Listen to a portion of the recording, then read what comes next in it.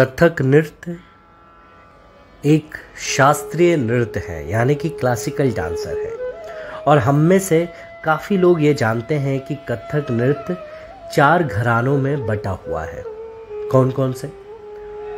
पहला लखनऊ, दूसरा जयपुर, तीसरा बनारस और चौथा रायगढ़ घराना।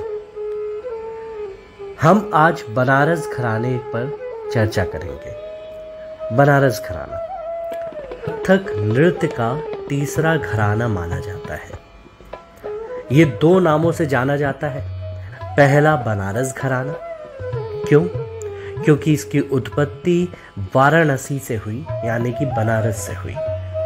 दूसरा, जानकी प्रसाद घराना। क्योंकि जानकी प्रसाद जी वाराणसी के निवासी थे।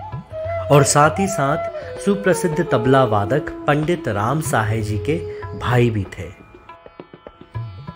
जानकी प्रसाद जी के समय में राजस्थान के श्री हुकुम राम जी अपने पुत्र चुन्नी लाल जी के साथ घूमते घूमते यूँ ही बनारस आ गए। चुन्नी लाल जी की एक खूबी थी। चुन्नी लाल जी लड़की बनकर जगह जगह लोक नृत्य किया करते थे। बस यूँ ही जानकी प्रसाद जी ने उन्हें देख लिया और उनकी प्रतिभा को देखकर जानकी प्रसाद जी ने हुकुम राम जी से चुन्नी लाल जी को अपने पास रखने की बात कर दी। और यहाँ से चुन्नी लाल जी की शास्त्रीय शिक्षा शुरू हुई।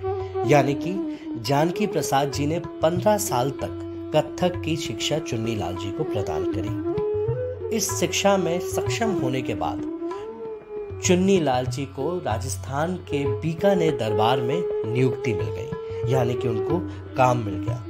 यहाँ पर वो प्रस्तुतियाँ भी देते थे और साथ ही साथ अपने शिष्यों को भी तैयार करते थे।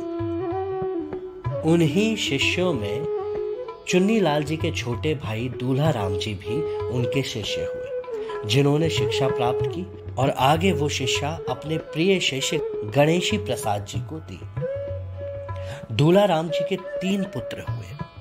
बिहारी लाल हीरा लाल पूरन लाल गणेशी लाल जी के भी तीन पुत्र हुए, हनुमान प्रसाद, शिवलाल, पंडित गोपाल जी। ये सभी के सभी अपने समय के श्रेष्ठ नर्तक रहे।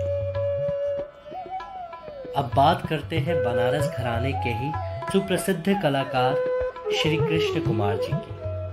श्री कृष्ण कुमार जी ने लखनऊ घराने के श्री शंभू महाराज जी से नृत्य की शिक्षा प्राप्त की और दिल्ली में अपना जीवन बिताते हुए अपने कई शिष्यों को तैयार किया और इस घराने को आगे बढ़ाया। लोगों का ऐसा मत है, ऐसा कहा जाता है कि बनारस घराना राजस्थान के सबसे प्राचीन सांवलदास घराने से संबंध रखता है। ऐसा क्यों? क्योंकि जानकी प्रसाद जी सावल दास जी के वंशज थे, जो बनारस आकर बस गए।